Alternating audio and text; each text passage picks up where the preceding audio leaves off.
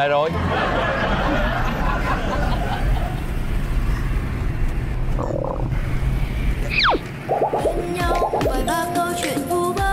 Không sao. ờ, Nhưng mà ờ, sự tới quán nào là phải tắt vô liền cho em nha. Anh biết rồi. Nhưng mà dặn nhạc hơi lớn là ồn đó nha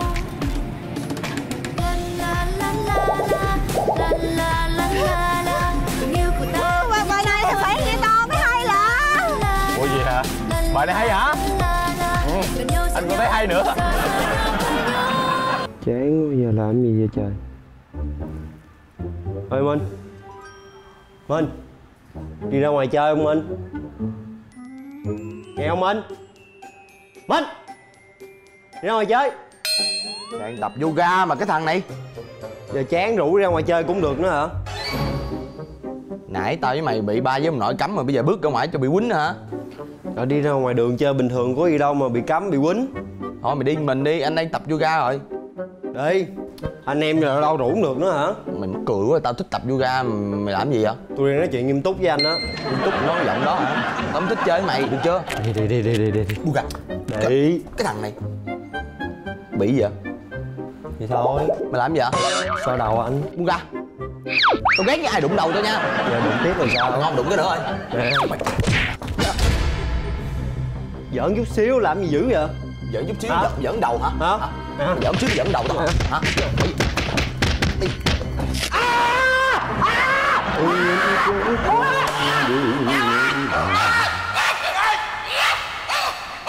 Cái gì vậy? Hai thằng đó quýnh lộn rồi phải không?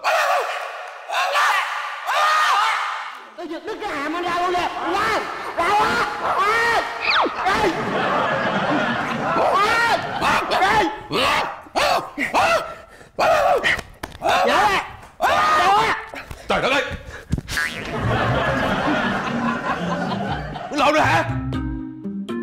Coi thường người lớn à Ba ơi tôi đã quýnh lộn nè ba ơi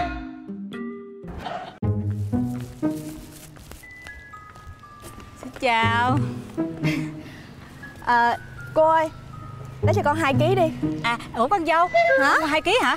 Rồi đợi đợi nha à, Thôi không cần mua nữa đâu con ờ, Cảm ơn cô nha Dạ Chị có phải chị Kim Chi không? Ờ Có, có gì không em? Dạ em chào chị dâu Cái gì? Khoan đã Nè sao mấy người lại gọi tôi là con dâu với chị dâu vậy? Hả? Nè cô Cô đi đâu đó?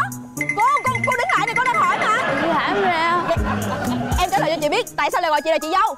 Dạ tại vì chị là bạn gái sắp cưới của anh Lộc Em kêu chị dâu theo ý của anh Lộc đó Cái gì? Ông Lực ông nói vậy hả? Dạ Nè trả lời Ông Lực ông đang đâu? Ông đang ở đâu?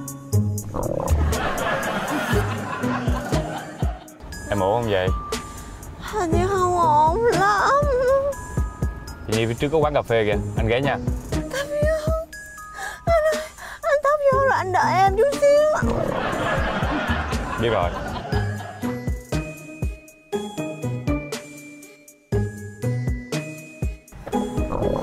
Ủa? Tiếng gì vậy ta? Em đâu có biết đâu. Nè Cái bụng em xôi em còn chối nữa hả Em đang gấp lắm đúng không? Không có em nói không phải em mà Không Ủa phải. nãy giờ là anh lo lắng ở vô ích hả ta Không có mà.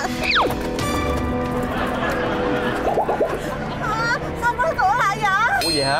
Anh đâu có biết đâu Em không gấp từ từ nha Để em coi thử có bị bị gì. Chắc là bị để em coi thử coi nha.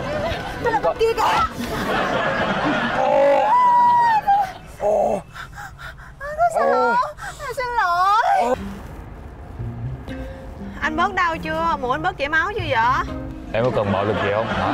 Em xin lỗi, không có cố ý. Không ấy hay là Em chở anh đi ăn nha. Nghe vậy còn được. Mà nè Dạ. Hồi nãy anh chưa kịp mua ly cà phê. Lát mà thấy có quán cà phê nào ghé mua ly cà phê nha.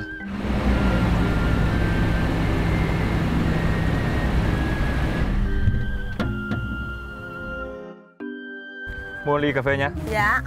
Anh đi đâu vậy? Đi toilet. Hả? Ơi Đừng mà Đừng mà Đừng mà. Không, ai biểu hồi nãy anh bày trước mà Anh đâu buồn